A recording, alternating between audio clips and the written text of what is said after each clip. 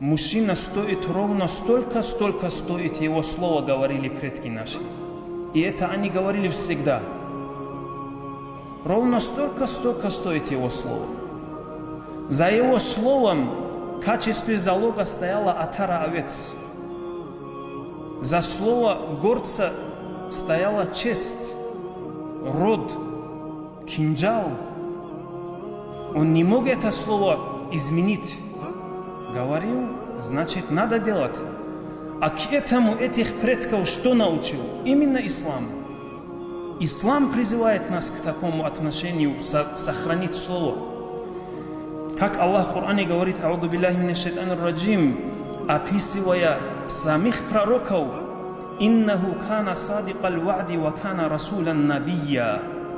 Садак Аллаху азим Давайте заглянем в тафсир имама Аль-Куртуби, рахматуллахи алейхи. Он говорит, смысл этого аята. Он был правдивым в обещаниях и был посланником и пророком. Аллах описывает пророка, алейхиссалату вассалам. Правдивый в обещаниях, сдерживал слово.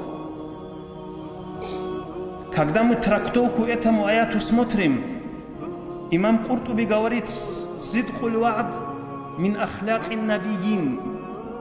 Вот это правдивое обещание и ее сохранение, не нарушение этого, является из нравов, из качеств всех пророков и посланников.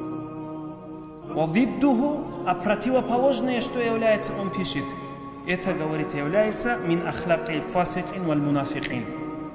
Слово дал, не сдержал. Согласно тафсиру Корана, это человек мунафик. Это человек грешник, фасик. А наши предки такими не были. У них крови, плоти было пропитано. Дал слово, надо соблюдать.